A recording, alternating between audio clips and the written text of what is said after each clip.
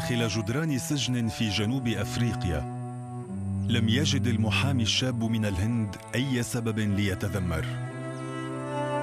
يقول البعض إن السجن قصر ويعتبره آخرون حديقة جميلة لكن آخرين يؤمنون بأنه عبر بوابات السجون ننتقل من عبوديتنا الحاضرة إلى الحرية. كانت سنة 1907 والمحامي الشاب من الهند كان مهندس غاندي.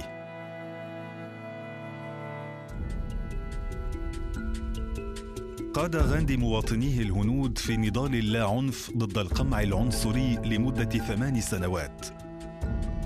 تظاهروا نحو الأرض الممنوعة وأحرقوا أوراق تسجيلهم.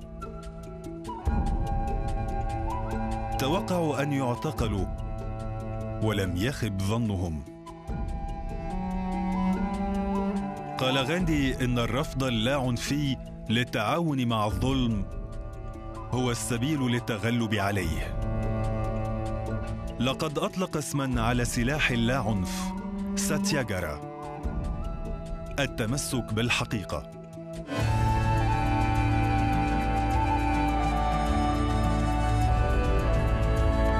كل عقد وفي كل قارة.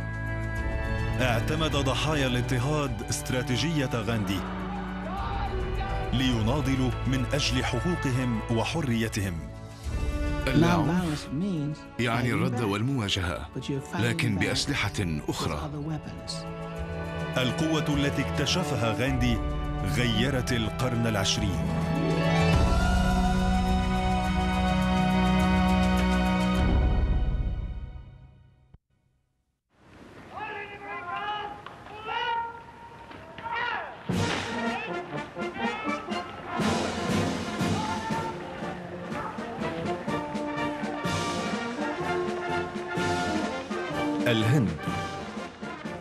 أكبر إمبراطورية استعمار في العالم.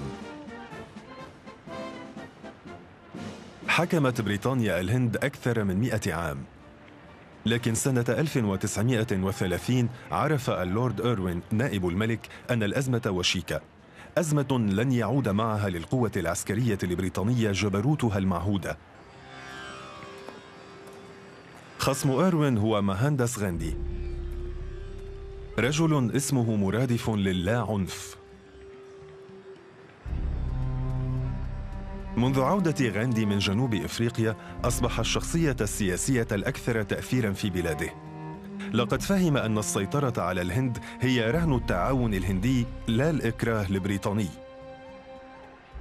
قال كيف يمكن لمئة ألف جندي بريطاني السيطرة على 350 مليون هندي حينها مئة ألف جندي بريطاني. قال غاندي سنتوقف عن فعل ما يريدنا البريطانيون أن نفعله ستتوقف الأمة وسيكون هناك عصيان مدني على صعيد شامل. رحب العديد من الهنود بالصراع وكان على غاندي أن يجد وسيلة ليستعمل طاقتهم إلى أقصى حد. اعتزل غاندي في مقره على نهر سبارماتي قرب الساحل الغربي للهند. في الأشرم أي المجتمع الروحي الذي كان يعيش فيه بدأ فترة تأمل بحثا عن استراتيجية لا عنف للوصول إلى الحرية. طوال أسابيع بقي وحده في معتزله البسيط ولم يبح بشيء مما كان يفكر فيه. لقد قالوا حتى إن غاندي آه عاش نارايان ديساي في أشرم غاندي خلال تلك الأسابيع الحاسمة قال البعض إنه رجل ذكي جدا لم يكن يريد أن تعرف الحكومة البريطانية ما الاستراتيجية التي كان سيتبعها؟ طوال الوقت كان يقول: لا أنا أنتظر وحسب، أنتظر النداء وأعرف أنني سأسمع الصوت الداخلي. في شباط فبراير اتخذ قراره. كان سيبدأ بتحدي الضريبة والاحتكار البريطانيين على الملح. وفي الثاني من آذار مارس راسل نائب الملك اللورد إيروين شارحا ظلم قوانين الملح وقائلا إنه سيذهب إلى الشاطئ ليصنع الملح بطريقة غير قانونية. قال إنه سيدعو كل الهنود ليحذوا حذوه. وناشد إيروين التفاوض. بعد أيام قليلة وصلت رسالة من مساعد إيروين تبلغه أسف نائب الملك لخطة عمل غاندي. أرسل غاندي فرقا استطلاعية لاختيار شاطئ حيث سيبدأ العصيان المدني. في خطاباته ومقالاته هاجم قوانين الملح مشددا على الظلم وخاصة نحو الفقراء. كان يعرف أن الملح سيكون رمزا قويا. كل إنسان بحاجة إلى الملح. لا يمكننا العيش من دون الملح. لذلك أراد الضرب على الوتر الحساس في قلب كل هندي. إن هناك شيئا لا يستطيع أي منا الاستغناء عنه. فلما يفرضون الضرائب عليه؟ كان غاندي يتمتع بغريزة للمسرح السياسي وقد بدأ رسم طريق من معتزله إلى البحر. كان هو ومتطوعوه سيمشون حوالي 240 ميلاً. وكان يقول إن السير لمدة شهر تقريبا سيزيد الحماسة وعدد الراغبين بسماع رسالته. لكنه توقع أن يلقوا القبض عليه قبل الوصول إلى الساحل. لم يكد نور الفجر يبزغ في الثاني عشر من أذار مارس حتى بدأت الإثارة الكبرى. كان غاندي في الستين من العمر والأكبر سنا بين المتظاهرين الثمانية والسبعين. انضم الآلاف إلى المسيرة ومن بينهم مراقبون من الشرطة. لكن الحكومة لم تحاول التدخل قط. كانوا يخشون أن تتسبب شعبيته باندلاع أزمة عنف. لذا فكروا بإيجابيات وسلبيات توقيفه. وقللوا من أهمية التظاهرة ضد الملح. وقالوا ستفشل. وقالوا إن غاندي سيبدو كالأحمق في النهاية. فإن تابع التظاهر ولم يخرق أيا من القوانين فلا يمكنهم توقيفه. فما سيكون سبب توقيفه؟ أراد غاندي أن يوقفوه لكن ليس باكرا. فكلما طالت المسيرة انتشرت الأخبار أكثر عن عمله. كانت رسالته تستهدف من معه وبقية العالم أيضا من خلال عشرات الصحفيين الذين انضموا إلى المسيرة. في خطاباته كان يصر على القول يجب أن لا نكره البريطانيين فهم لم يأخذوا الهند منا نحن الذين أعطيناهم إياها.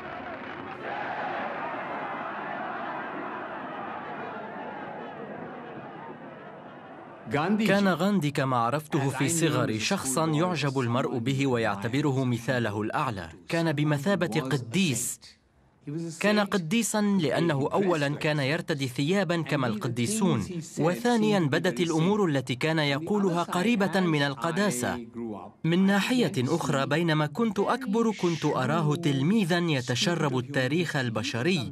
كان رجلا يفهم النفس البشرية بعمق كبير وشمولية. كان يفهم فكرة العدل البريطانية. فهم ذلك وعرف كيف يتعامل مع تلك الفكرة. بالرغم من أن بريطانيا لم تتردد قط في استعمال القوة إلا أن حكامها كانوا فخورين بحكمهم المستنير وبالتعاون الذي كانوا يحصلون عليه من المسؤولين الهنديين. كان غاندي ينوي القضاء على القبول الهندي بالحكم الأجنبي.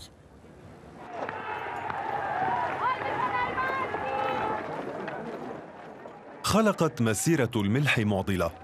فإن ألقوا القبض عليه فستعترض الهند بكاملها على ذلك. وإن سمحوا له بتحدي القانون علنا فسيفقدون السيطرة البريطانية وربما بشكل نهائي.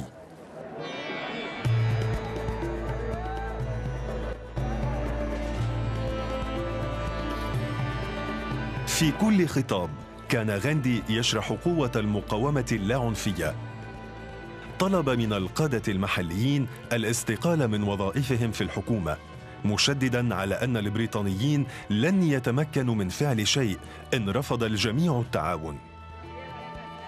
كان يطلب من المسؤولين في القرية الاستقالة من مناصبهم ومئة وأربعون نفذوا الطلب. لماذا طلب منهم الاستقالة؟ لأن الحكومة حكومة أجنبية تدير البلاد لمصلحتها الخاصة. فما فائدة خدمتها؟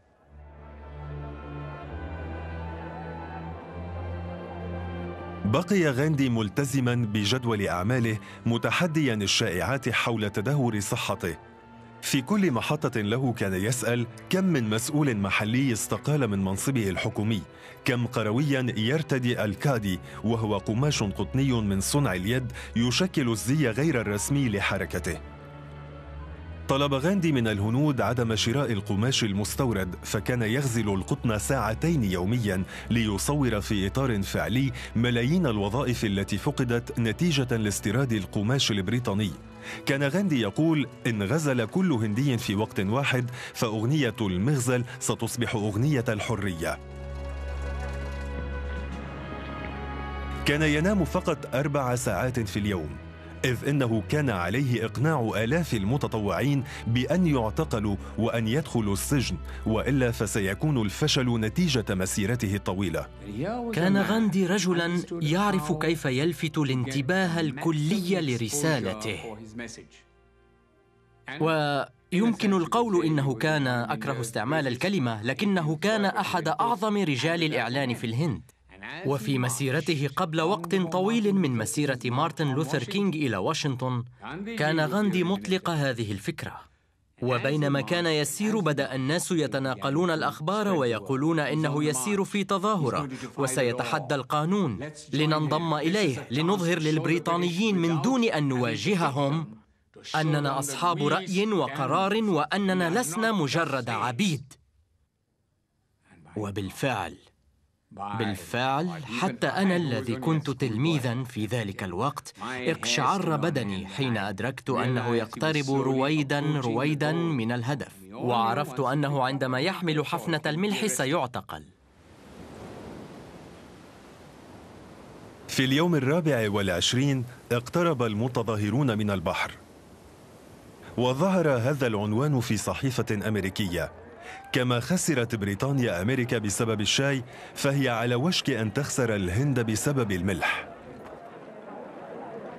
عشية خرق القانون التقى غاندي 12 ألف متظاهر على الشاطئ فقال لهم احملوا الملح بين أيديكم وفكروا بأنه يساوي 60 مليون روبي. هذا ما كانت الحكومة تأخذه منا عبر احتكار الملح.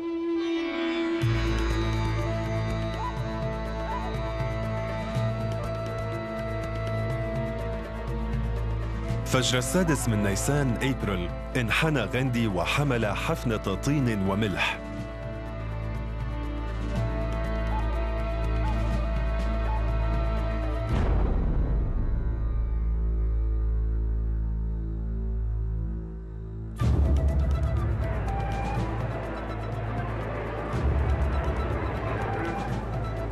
عندها صعقت البلاد لخبر خرق غاندي قانون الملح. ومشى الآلاف إلى الساحل ليحذو حذوه. وصف جواهر لال نهرو رئيس وزراء الهند المستقبلي الوضع قائلا بدا كأن نبعا قد تفجر فجأة. في كل البلاد كانت صناعة الملح هي الموضوع الأساسي. لم يكن مهما ما إذا كانت المادة سيئة أم جيدة. المهم كان خرق قانون الملح المريع ولقد نجحنا في ذلك. لم يكن البريطانيون قد توقعوا النجاح الهائل الذي لاقته تظاهرة الملح. لقد شكك العديدون بالأمر وقالوا أي عمل هو هذا؟ لا يمكن الإطاحة بالملك عبر غلي ماء البحر في إبريق. ذلك كان الافتراض السائد. لكن في صراع لا عنف إن رؤية القائد هي المهمة. ما الذي سيحرك الناس؟ ما الذي سيجعلهم يشعرون بأن هناك قضية يناضلون من أجلها عبر اللاعنف؟ بينما عمت حركة غاندي البلاد فوجئ هو لعدم توقيفه. فبدأ يزور القرى الواقعة قرب البحر ويشجع على العصيان المدني وقال إن هذه ليست سوى البداية. اليوم نتحدى قانون الملح وغدا سنرمي القوانين الأخرى في سلة المهملات. سنظل نمارس عدم التعاون إلى أن يصبح من المستحيل على الإدارة المتابعة. عندما يكون المرء غير عنيف فكيف نهاجمه؟ كيف نقابل تحديه؟ ما يمكن فعله هو أن نسجنه وإن سجناه فستزداد شعبيته. لا يمكننا استعمال السلاح ضده. ولا يمكننا استعمال العنف ضده. اذا فقد كان شخصا قد طور تقنية تفوق بقوتها قوة البريطانيين. أبرق اللورد إيروين إلى لندن من الحكومة في نيودلهي إن نفوذ غاندي الشخصي يهدد بإحراج الإدارة وبدأ في بعض المناطق يقوض سلطة الحكومة. كان مقر غاندي على الشاطئ. بعد شهر على التقاطه أول حفنة من الملح أعلن تصعيدا للوضع. واستولى هو والمتطوعون على مراكز صناعة الملح الحكومية في بلدة دارسان المجاورة.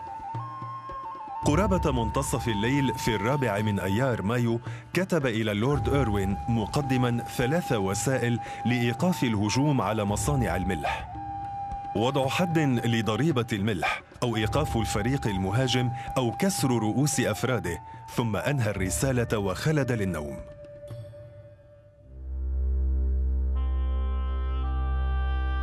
في الصباح التالي زج غاندي في السجن. وكم أفرحه ذلك. سبب الاعتقال عاصفة حقيقية.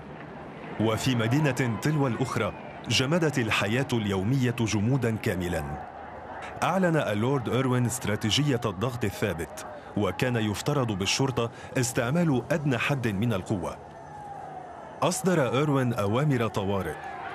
فقد منع اللقاءات السياسية وفرض الرقابة على الصحافة ومنع عمل لجنة الكونغرس الوطني الهندي. باءت خطة إيروين لتفادي القمع بالفشل بعد أن مهدت الأوامر الجديدة فرصا لخرق القانون. اعتقل الآلاف وكان هذا بالضبط ما يريده غاندي. أتت مجموعة من رجال الشرطة لاعتقال والدي. وكان البعض منا نحن الصغار يلحق بشاحنة الشرطة. وبدلا من أن نقول إلى اللقاء أبي أو ما شابه كنت دائما أقول له أبي هذه المرة ليس أقل من سنتين. وهذا يعني لا أريدك أن تسجن أقل من سنتين. كان بمثابة افتخار أن يكون والد الشخص محكوما عليه بسنتين أو بثلاثة أشهر أو ما شابه. إذا كانت أفكار غاندي قد ترسخت حتى عند الصغار في ذلك الوقت. شن أتباع غاندي هجوما على مصانع درسان للملح من دونه. وقادت الحصار شاعرة مشهورة اسمها ساروجيني نايدو. وقالت لأتباعها يجب ألا تلجأوا إلى العنف مهما كانت الظروف. سيضربونكم لكن يجب ألا تقاوموا. لا ترفعوا يدا واحدة حتى لرد الضربات. بعد عشرة أيام من المناوشات واجه 2500 متظاهر الحراس مواجهة مباشرة.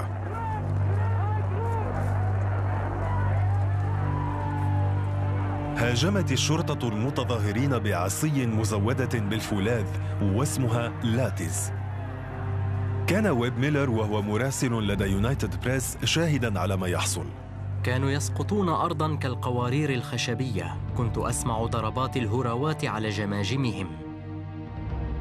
والذين كانوا يضربون كانوا يسقطون منبطحين فاقدي الوعي أو متلوين الما جراء تحطم جماجمهم. نشر تقرير ميلر في حوالي ألفي صحيفة وقرئ بصوت مرتفع في مجلس الشيوخ الأمريكي. شرح أحد المتظاهرين ما يلي. كان هدفنا الوحيد أن نظهر للعالم براثن الحكومة وأنيابها بكل شراستها وقبحها. وفي هذا كان النصر حليفنا.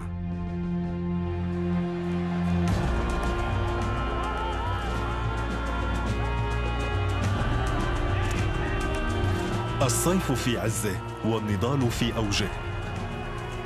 حتى بوجود غاندي ومعظم القادة الوطنيين في السجن كانت الحكومة قد فقدت السيطرة على المدن الرئيسية.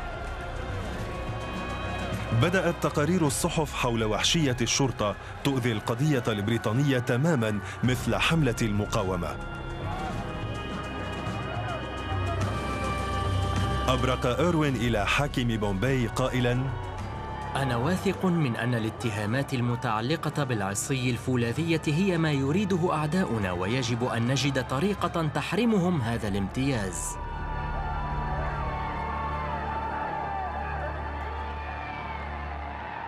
في تموز يوليو أعلنت الحكومة عن اعتقال حوالي 17 ألف مقاوم مدني كان هدف غاندي في ملء السجون أكثر من تضحية ذاتية كان عصيانا جماعيا وقد بدأ يسبب تآكل السلطة البريطانية بشكل ثابت وأكيد. إن كانت السلطة تتمتع بالقوة فستظل تتمتع بها إلى حين بقاء الطاعة. لكن فور أن تزول الطاعة لحظة عدم الانصياع للقوانين. لحظة لا يعود هناك إذعان لأوامر السلطة تختفي قوتهم.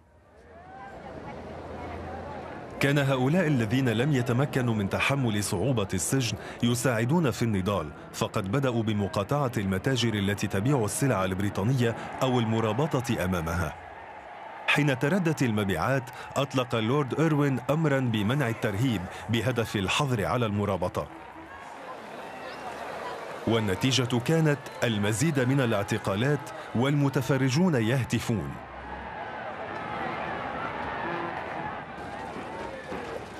انخفضت تجارة بريطانيا مع الهند بنسبة 25% وفي شهر كانون الأول ديسمبر أقفلت ثلاثة أرباع متاجر القماش الأجنبي. في كانون الثاني يناير رأى رئيس الوزراء البريطاني رامزي ماكدونالد أن المفاوضات هي الطريقة الوحيدة لوضع حد لهذا الوضع وأمر بإطلاق سراح غاندي والقادة الآخرين. بقيت الحركة الوطنية قوية بينما تم الاحتفال بإطلاق غاندي. لكن القائد كان يعرف أن جنوده المشاة بحاجة إلى الراحة. وفي الرابع عشر من شباط فبراير أعلم اللورد إيروين أنه مستعد للمفاوضة. لكنه أصر على أن تستمر صناعة الملح والمقاطعة خلال المحادثات. في قصر نائب الملك في نيودلهي كان غاندي أول هندي يلتقي مع حاكم بريطاني من الند للند. دامت المفاوضات ثلاثة أسابيع ورفض إيروين منح غاندي الموافقة على قوانين الملح واستيراد القماش فقد كان ذلك تنازلا من شأنه إبعاد المتعاونين الهنود. أمن غاندي إطلاق سراح السجناء السياسيين ورفع الأوامر القمعية. وبعدها ألغى العصيان المدني. لكن المسائل المتعلقة بالدستور تأجلت لمحادثات لاحقة في لندن. كان هناك أشخاص كثيرون غير راضين عن الوضع. فقد رأوا أن غاندي تنازل كثيرا وبالغ فيما فعله. لكن غاندي كان يصر على القول إن هذا التحرك ليس عبثيا. لأنه يدرب الناس عبر مثل هذه التحركات. ولا يمكن الحصول على كل شيء دفعة واحدة. على المرء أن يساوم وأن يستجمع قواه للخطوة التالية.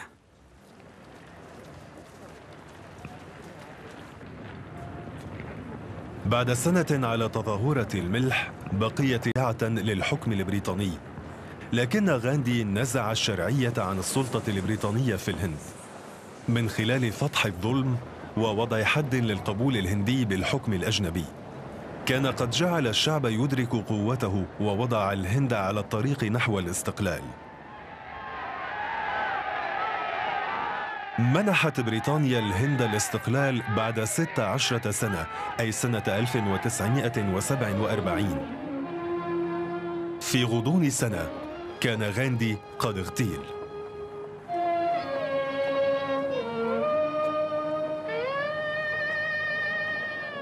لم تنحصر إنجازاته في الهند فقد كانت رؤيته وممارسته للصراع اللاعنفي مثلا تحتذيه الأجيال المستقبلية.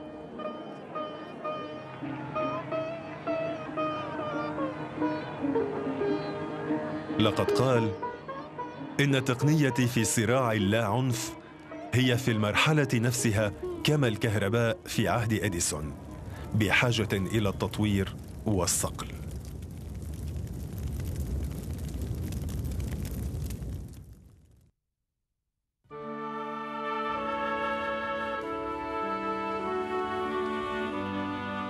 بعد ستين سنة على انتشار أفكار غاندي في جنوب إفريقيا وجدت لها أتباعا جددا في الجنوب الأمريكي. كان طلبة جامعة فيسك أثناء وجودهم في حرم الجامعة بعيدين عن تأثير التمييز العنصري لكن عند ذهابهم إلى وسط المدينة كان يصدم العديدون بالنظام الجنوبي. ترعرعت في مدينة شيكاغو المنقسمة على أساس عرقي. وبالرغم من أنني عانيت التمييز العنصري هناك إلا أنه لم يكن بهذا الشكل الصريح مع اللافتات على ينابيع المياه والمراحيض كان ذلك مذلا. كانت ناشفيل مدينة منقسمة على أساس عرقي كانت تشبه جوهانسبورغ. في قمة الفصل العنصري كانت مدينة عرقين. وكان الاتصال معدوما بين مجتمع البيض ومجتمع السود. في المدارس والأحياء ومراكز العمل والكنائس كانت ناشفيل منقسمة كليا على أساس عرقي والمدهش أن معظم السكان كانوا راضين وسعداء.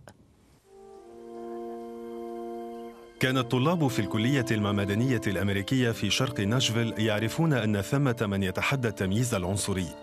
عمل البعض لمواجهة القمع العنيف والتصفية التي يتعرض لها السود خارج إطار القانون وأرادوا الانضمام إلى النضال. في المدارس علمونا أمورا عن إعلان الاستقلال وحقوق الإنسان والدستور لكن في العالم الحقيقي كانت الأمور مختلفة. لكن سرعان ما أعطت جيمس لوسون وهو قس ميثودي من أوهايو طلاب ناشفيل فرصة للمشاركة. كان لوسون الدافئ اللسان في الثلاثين وقد أمضى ثلاث سنوات يدرس في الهند حيث درس أعمال مهندس غاندي. في كنيسة صغيرة قرب حرم جامعة فيسك افتتح لوسن سلسلة من حلقات الحوار المسائية حول أعمال اللاعنف الليلة سنحاول تحقيق عمل مهم جدا. كان لوسن يعمل بهدوء وكان هدفه يخطف الأنفاس إلغاء التمييز العنصري. وقد جذبت صفوفه ألمع الطلبة في ناشفيل. كان لدي صديق من ألاباما هنا في نيسان إبريل. وقد أخذته مجموعة الكوكلاكس كلان وضربوه بالسلاسل وأوثقوه بشجرة. كنت أعتقد أن اللاعنف لن يجدي نفعا لكنني بقيت في حلقات الحوار لسبب واحد وهذا لأنها كانت المجموعة الوحيدة التي حاولت مناهضة التمييز العنصري حسب علمي. بدأ يصلي ويقول ربي اغفر لهم. كان مارتن لوثر كينج الابن قد شجع جيم لوسون ليأتي إلى الجنوب وكان يقول أن الحركة بحاجة إلى قادة يفهمون استراتيجية اللاعنف وتكتيكاتها. واعترضوا قائلين إنه لا يمكنه تلاوة هذه الصلاة لكن آخرين أجابوا بأن الرجل المقبل على الموت من حقه الصلاة فسبب هذا انقساما فيما بينهم. أخذنا المجموعة بكاملها عبر رؤية شمولية للاعنف تاريخه وجذوره في الكتاب المقدس وفي المعتقدات المسيحية. وسبل اللاعنف فيها أخبرنا قصص اللاعنف. وأنا شددت على فكرة غاندي في أننا ننخرط في تجربة. قد يتأثر المعتدي أكثر إن نظرتم مباشرة في عينيه وهو يضربكم على خدكم. إن مفهوم اللاعنف بالنسبة إلى البعض هو إن ضربهم أحد على خدهم الأيمن أداروا له الأيسر ولم يفعلوا شيئا لكن اللاعنف يعني النضال النضال يكون لهدف آخر وبأسلحة أخرى في البداية يكون النضال في التغلب على ذلك الشخص وهذا هو القتال الحقيقي وهو أكثر قوة ووقعا من القتال الجسدي أه جيم إن تعرضنا للضرب. أه فماذا يجدر بنا أن قلنا نفعل؟ إننا سنلغي التمييز العنصري من ناشفيل وكانت خطوتنا الأولى تقضي بإلغاء التمييز من المقاهي. وبالطبع لقد كانت تلك الخطوة الغاندية الأولى التي قمنا بها. وهي أن نبحث ونتفحص ونركز على قضية وأن نختار هدفا وقضية. قبل أشهر من الذهاب إلى قاعات الغداء بدأ لوسن يهيئهم. مجموعة من الزنوج. انظروا إلى هؤلاء الأربعة المصطفين هنا. مرحبا يا ابنة الأدغال. إنه داكن إلى حد أن المكان كله يبدو مظلما. كان يريدهم أن يختبروا الاعتداءات الجسدية والكلامية وأن يتعلموا كيفية مقاومة الرغبة بالهروب أو بالرد.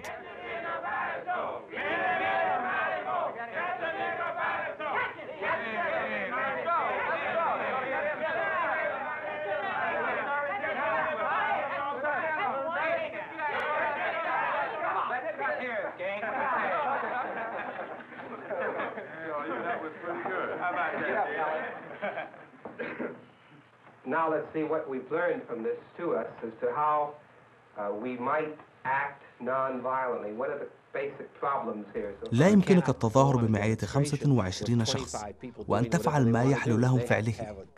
فيجب عليهم أن يتمتعوا بالانضباط المشترك. وهذه هذه كلمة مهمة جدا بالنسبة لي. فالصعوبة في التعامل مع الأشخاص غير العنيفين وجهودهم تكمن في أنهم لا يدركون ضرورة الانضباط. والتدريب الصارم ووضع الاستراتيجيات والتخطيط والتوظيف والقيام بجميع الأمور اللازمة لتكوين حركة ما. فلا يمكن لذلك أن يحدث بشكل عفوي. ويجب أن يتم بشكل منظم. وهكذا أعدوا أول اعتصام لهم يوم السبت حين كان من المؤكد أنهم لن يمروا مرور الكرام. أمضينا ساعات طويلة من توقع بعض المعارضة. وعرفنا أن هذا من بين الأمور التي كانوا سيقولونها. لا نريد أن نجلس قرب أشخاص قذرين ونحن نتناول الغداء. وقد أردنا مكافحة ذلك عبر انتقاء لباس معين لنا جميعاً. قيل لنا إن هناك احتمالا بأن يوقفونا لكننا ذهبنا إلى المطعم وجلسنا. جلسنا وبقينا جالسين بطريقة مرتبة ومهذبة جدا. لم يفاجأوا حين رفضوا خدمتهم. قلت أنا آسفة لأن الإدارة لا تسمح بخدمة الزنوج هنا. سرعان ما أغلق مدراء المتاجر أماكن الطعام لكن الطلاب بقوا حتى وقت الإقفال وهم يقرؤون ويقومون بفروضهم. لم يحصل أي عمل عنيف ولم يعتقل أحد احتلت الاعتصامات مكانا متأخرا في صحيفة يوم الأحد. يتذكر المحرر جون سيغن تايلر ردة الفعل. كانت ردة الفعل نوعا من الصدمة لكن كان فيها بعض الفكاهة. من يظنون أنفسهم؟ ما الذي يفعلونه؟ كنا نعرف أنها قصة يجب أن تنشر لكننا لم نعرف كيف نغطي الحدث. اتخذت الأعمال المحلية موقفا متوقعا أن تغلق أبوابها قبل أن تخدم الزبائن السود. بعد أسبوع عاد الطلاب وقد أثاروا الفضول وحصلت مناوشات كلامية لكن لا اعتقالات. ما زال البيض يظنون أن الاعتصامات بدعة عابرة لا تكاد تشكل تهديدا للوضع القائم. في يوم السبت الثالث كانوا جاهزين لاستهداف مجموعة من ستة متاجر. ليحضر الآن كل شخص منكم شريكة أو شريكا يبقى معه. لا نريد شخصا أبيض مع أسود من الجنس الآخر لأننا لا نريد خوض تلك المعركة. قيل لنا مسبقا. ذلك اليوم إنهم سيسمحون لقطاع الطرق بضربنا وبعدها سنعتقل. لذلك كان علينا أن نستعد للضرب وللتوقيف. كانت تلك حالة صعبة جدا.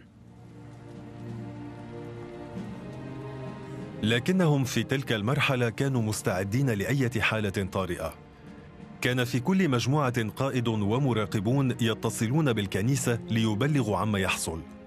كان المراقبون يحملون أرقام هاتف سيارات الإسعاف وكمية كبيرة من القطع النقدية الصغيرة.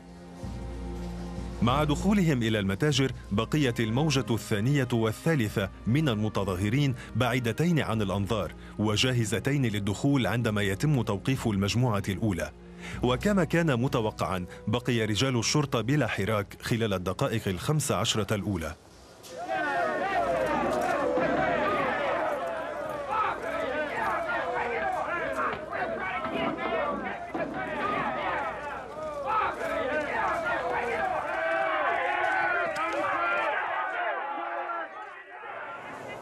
دخلت وطلبت من كل واحد منهم منفردا أن يغادر.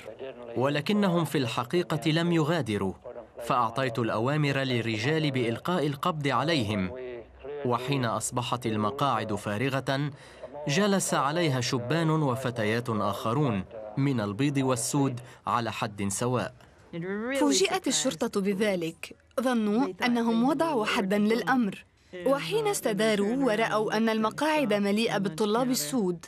أصبح الواحد ينظر إلى الآخر بطرف عينه. وكأنه يقول له هل ترى هذا؟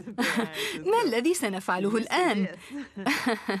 وكانت هناك مجموعة أخرى من الطلاب المستعدين للجلوس مكان الآخرين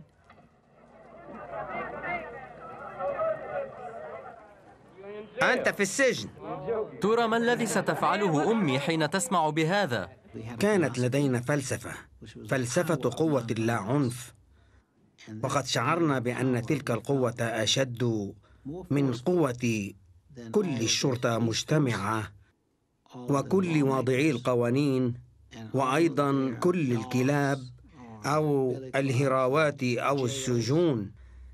كانت طاقتنا واستعدادنا لتحمل الألم يفوقان أية قوة لديهم.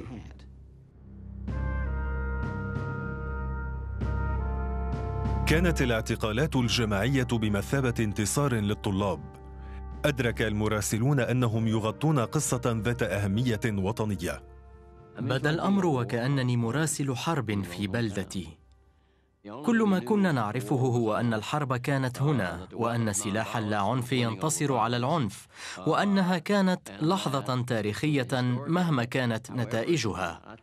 أعتقد أنه كان في ذلك نفحة تاريخية فهمناها جميعا. في مقر الشرطة صباح الاثنين كان الطلاب ما يزالون خلف القضبان. من حيث المبدأ رفضوا إطلاق سراحهم بكفالة. لكن في غضون 48 ساعة كانت حركة الطلاب الصغيرة قد ألهمت الآلاف. وسرعان ما انضم مجتمع السود في المدينة إلى النضال عبر التنظيم وجمع المال واستخدام المحامين. كان ألكسندر لوبي من بين أشهر المحامين السود في ناشفيل وكان قد نظم المحامين المحليين للدفاع عن الطلاب المحتجزين. لم يصدق الناس أن هؤلاء الطلاب الشبان الأبرياء والأنيقي الهندام قد زجوا في السجن. هذا لم يعجبهم. وكان يجري حشد سكان مدينة السود بشكل نشط جدا. وانتشرت الحركة عبر مدينة ناشفيل كالنار في الهشيم. بينما كانت الحشود تنتظر لترى ما الذي سيحصل تكلم العمدة مع المراسلين الصحفيين.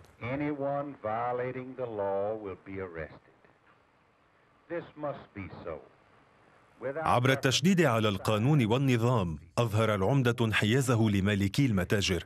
وفي الواقع لم يكن الطلاب المحتجزون قد خرقوا القوانين ولم يكن قد اعتقل أي من المعتدين البيض. لم تكن البلدية ولا الشرطة مستعدتين لقمع عصيان مدني جماعي. كانوا قد توقعوا أنه عند حصول العنف وبدء الاعتقالات سيندثر تحركنا ويختفي لأنه على أي حال هذا هو هدف العنف هذا هو هدف الاعتقالات. كانوا يأملون أنه مهما كان هذا فسيختفي.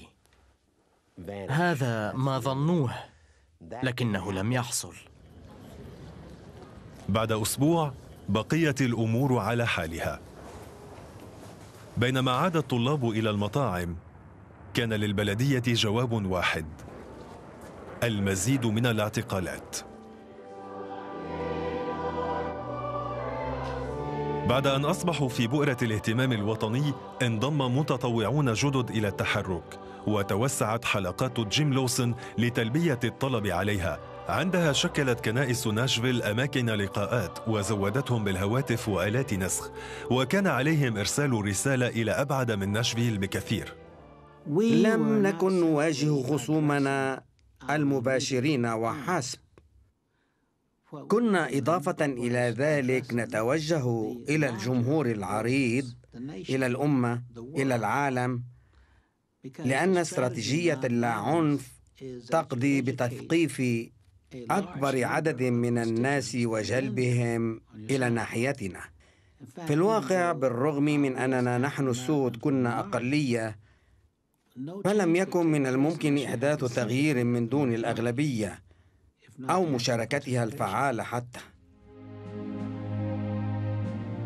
عرف الطلاب أن التعاطف وحده قد لا يكون كافياً وهكذا بدأوا تصعيد الوضع مستغلين السخط الذي أثارته اعتقالاتهم.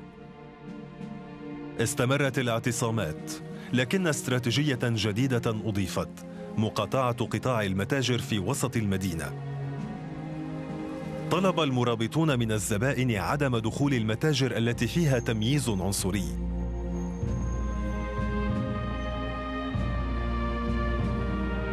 أوجد الطلاب تيارا. انضم إليه المجتمع بشكل واسع.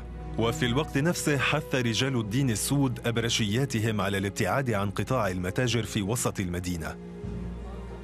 لقد سمح ذلك للمجتمع بكامله بالمشاركة في التحرك لأن هذا من بين الأمور التي نعلمها نحن في حركة اللاعنف. ففي حركة اللاعنف الجميع مدعو للمشاركة. يستطيع الأولاد المشاركة والنساء والرجال والشبان والشيوخ بإمكان الجميع القيام بهذا العمل. ومع اشتداد قبضة المقاطعة استمرت الاعتصامات والاعتقالات.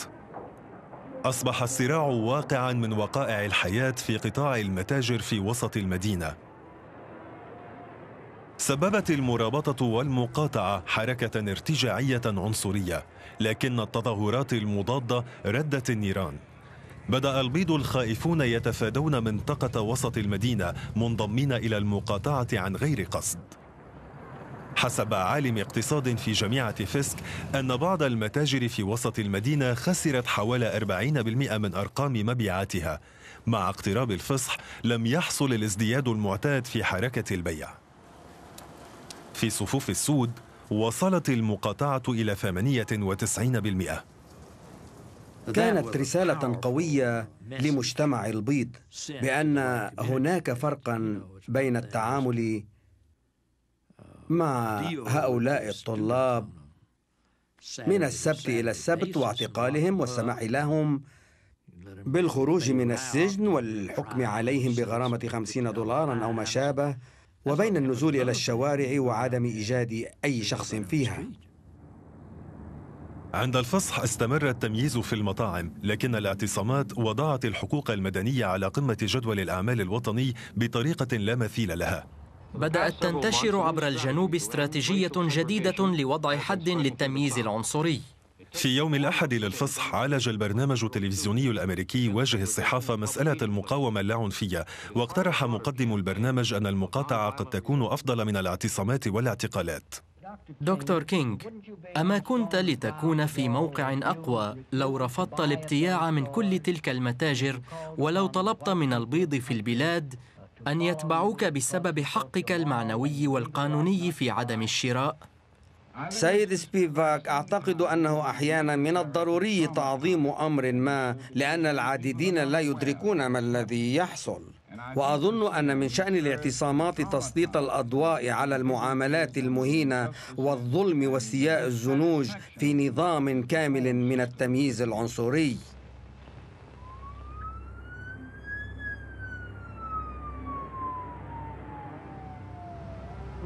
كنا قد أعددنا لاجتماع عند الساعة السادسة صباحا. وكنت في غرفة نومي أرتدي ثيابي. عندها سمعت انفجارا قويا.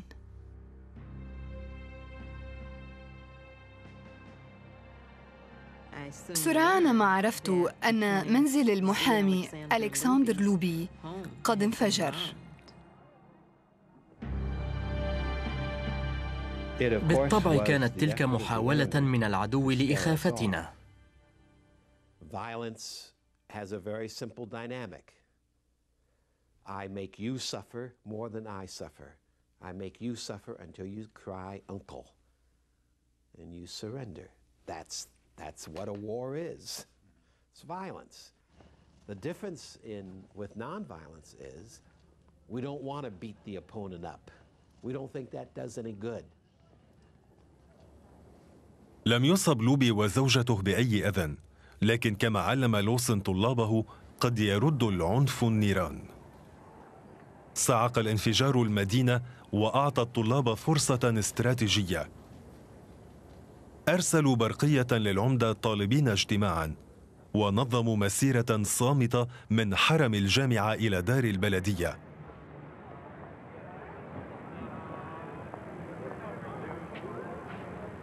بدأوا بألف وخمسمائة متظاهر. وعلى طول الطريق تضاعف العدد.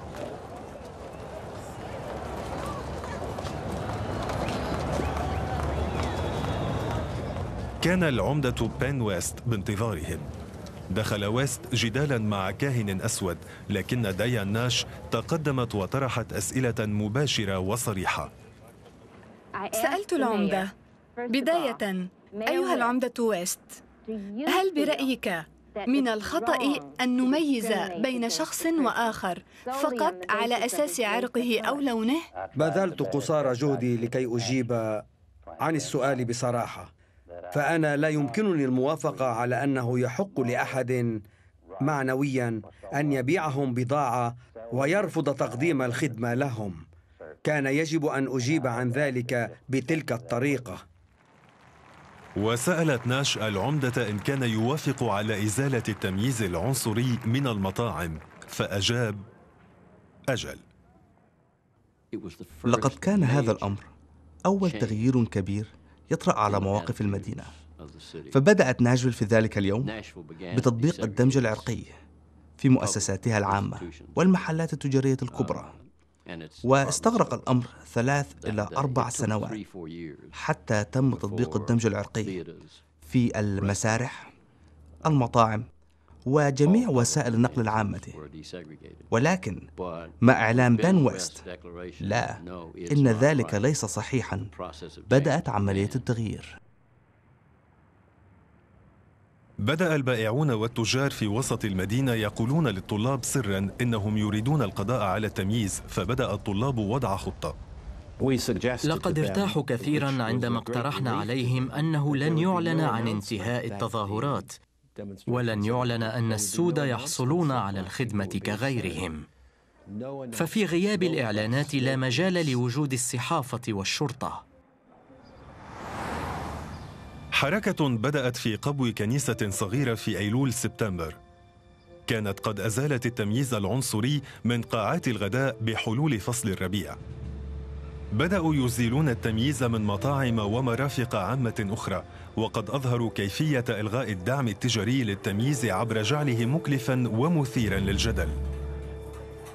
كان سلاحا أثبت قوته مع ازدياد زخم حركة الحقوق المدنية.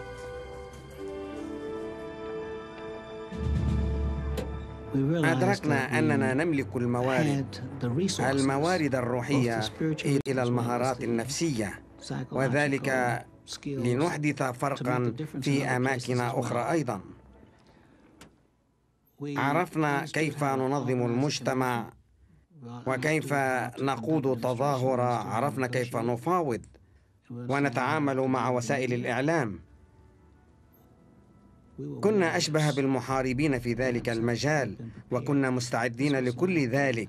كانت أشبه بأكاديمية عسكرية للنخبة لكن للتدريب على اللاعنف. خلال بقية العقد حملوا معهم ما تعلموه إلى الجنوب وعبر البلاد بكاملها. كتب أحد طلاب ناشفيل متأملا بما تم إنجازه لا يمكن انتظار الآخرين للقيام بذلك. لا يمكن انتظار الحكومة لفعل ذلك. يجب التحرك. التحرك عبر جهودنا الخاصة وحركتنا ورؤيتنا.